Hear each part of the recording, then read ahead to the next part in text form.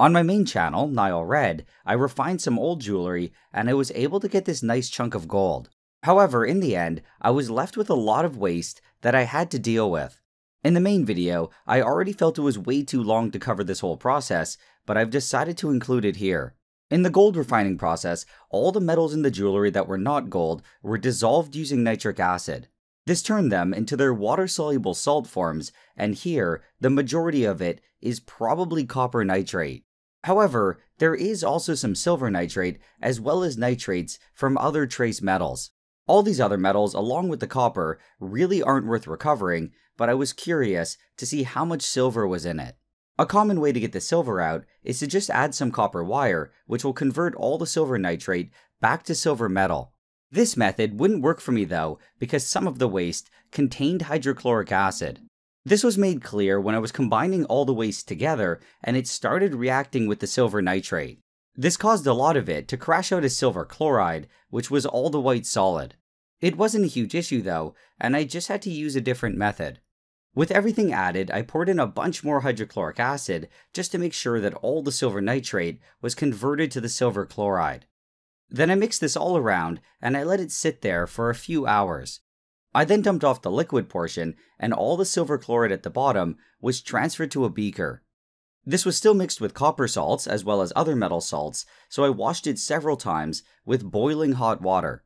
After something like 5 washings, the water was pretty much colorless and it was good to go. I filled this up again with more hot water, and then I slowly added concentrated sodium hydroxide. As it was added, it reacted with the silver chloride, and it converted it to black silver oxide. Both the chloride and the oxide are insoluble in water though, so this conversion isn't super efficient. I tried mixing it around and breaking up some of the white chunks that were still there, but it didn't work that well. In the end though, this didn't turn out to be much of an issue. I tested the pH and saw that it was strongly basic, and I just kept stirring it like this for a while. Then, when I kind of randomly thought that it was decent enough, I turned up the heating and started adding glucose to it. The glucose reacted with the sodium hydroxide to make beta-gluconolactone, which then reacted with the silver oxide and reduced it back to silver metal. It was really hard to tell when the reaction was done here, and the dark color caused by the sugar really didn't help. I could tell that it was working though, because the solid stuff seemed to be getting denser and having a stronger tendency to sink to the bottom. There might be other reasons why this happened, but it's probably mostly because silver metal is about 50% denser than the oxide. When it looked like it was pretty much done here, I dumped off all the liquid. Then I added some more fresh sodium hydroxide solution along with some glucose. I stirred this for another 10 minutes or so, and at this point, I felt that it was probably done. The stuff at the bottom should all be silver now, but it's mixed with a bunch of base and sugar. It was surprisingly hard to get rid of, and I think I did at least something like 10 washings. It did eventually look clean though, so I put it back on my hot plate and cranked up the heat, and I boiled off the water. I then dumped all the powder into a crucible along with some borax, and I started heating it with my torch. And at the same time, I preheated my graphite mold. Then, when the silver was nice and hot, I poured it into one of the slots. I was really hoping that it would at least fill the whole thing, but unfortunately, it just wasn't enough silver. I took it out, dropped it in some water to cool it, and this was the final result. It was a nice small piece of silver, and it weighed about 9.4 grams. At close to 50 cents a gram US, this was less than $5 worth, or about $6 Canadian. So not exactly too much to be super excited about here. I was a bit concerned about the purity of this silver, but like I said in the main video, I had it tested and it was found to be 100%. This wasn't the end of it though, because I still had this whole bucket of acid to deal with. The major thing it had was copper salts, as well as hydrochloric acid and nitric acid.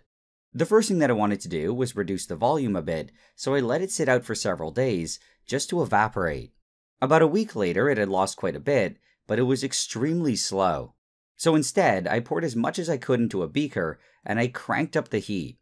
I also set up a fan off screen to blow over the top of it and to speed things up. Then I kept occasionally topping it off with more liquid from the container until it was eventually all added. As more and more water was driven off, it got thicker and thicker, and eventually, it looked like there was pretty much no water left. So I took it off the hot plate and I poured everything onto a tray. One thing that I should mention about this whole process, though, is that it's really dangerous and a lot of acid vapor is released. I did this in a fume hood, so it was fine, but I really don't recommend doing it. But anyway, as it cooled, the salt started crystallizing and it all slowly hardened. To prevent it from getting completely stuck to the tray, I just occasionally poked around at it. At this point, I was pretty much done, but I wanted to try something. I started shooting at it with my torch, and you can see the nice green flames that were being caused by the copper salts. It also let off a lot of nitrogen dioxide gas, which told me that this was mostly just copper nitrate. Initially, I wanted to see if I could break it all down into black copper oxide, but it just wasn't very efficient to do it with a blowtorch. If I did degrade it all though, I could dissolve it in sulfuric acid to make copper sulfate, and then reduce it back to copper metal using vitamin C. I could have probably also just done electrolysis on the original copper waste, but in the end, I felt like this was just way too much work. The amount of copper that I could at most be recovering here would probably only be a couple dollars worth. So instead, when I was done playing around with it, I just let it cool and I dumped it all into a bag. I then put it in my inorganic waste drawer, and it was a problem for future me to deal with. The last things to get rid of were the solutions that I knocked the gold out of. Unfortunately, though, I forgot to film this process, but it honestly wasn't too interesting anyway. They were mostly just water, along with some leftover acid and potassium metabisulfite. I just quickly neutralized the acid using leftover sodium hydroxide solution, and then I added a small amount of bleach to kill the metabisulfite. I then poured all of that down the drain with a large amount of excess water. But anyway, that's about it. I hope you liked this little supplement to the main channel, and in the future, I might post some other ones like this. As usual, a big thanks goes out to all my supporters on Patreon. Everyone who supports me can see my videos at least 24 hours before I post them to YouTube. Also, everyone on Patreon can directly message me, and if you support me with $5 or more, you'll get your name at the end like you see here.